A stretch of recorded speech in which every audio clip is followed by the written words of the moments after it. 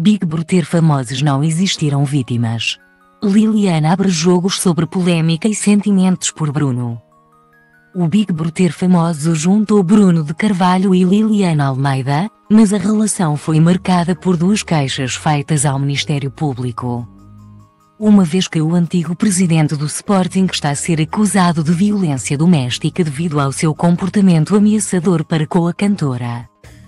Já fora da casa mais vigiado do país, Liliana Almeida esteve à conversa com os fãs através de um direto no Instagram na noite desta terça-feira dia 22 de fevereiro, e fez um desabafo. Posso vos contar que chegar cá fora é um mundo novo mesmo.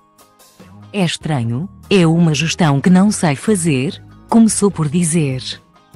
Durante a interação com os internautas, a concorrente do Big Brother Famosos voltou a confirmar, tal como revelou na sua ida ao programa 2 às 10 que já falou com o companheiro e garantiu, os meus sentimentos não mudaram.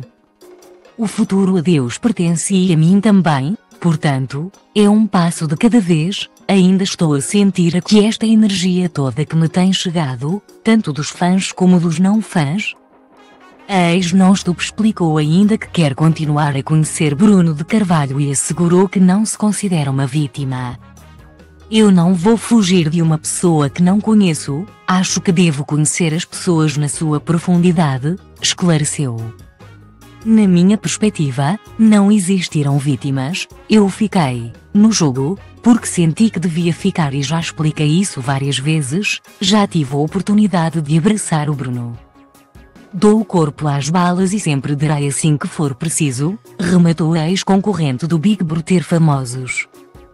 Percorra a fotogaleria e veja as imagens que preparamos para si.